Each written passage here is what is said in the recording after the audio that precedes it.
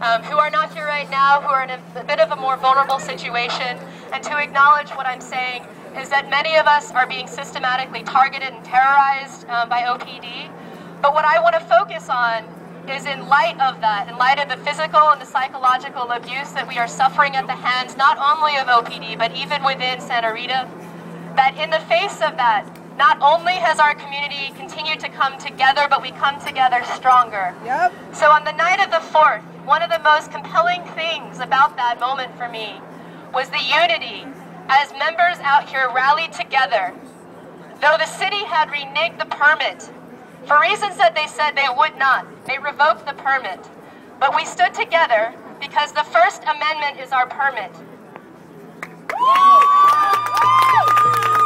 That night, without warning, I had an officer grab me by the hair and throw me down while I was singing.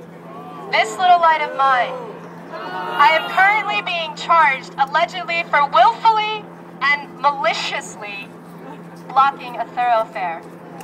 Now, to be clear, many of us were first taken into custody for a 148 for resisting an officer.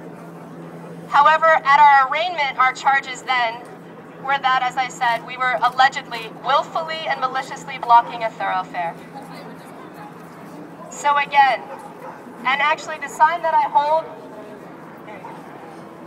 to be clear, if it is considered willfully and maliciously to be singing This Little Light of Mine while an officer grabs my hair and throws me down, then apparently I can no longer say that I'm 100% peaceful, though I have only ever stood out here in the city that I love near and dear as a 100% peaceful protester, again, using the First Amendment as our permit.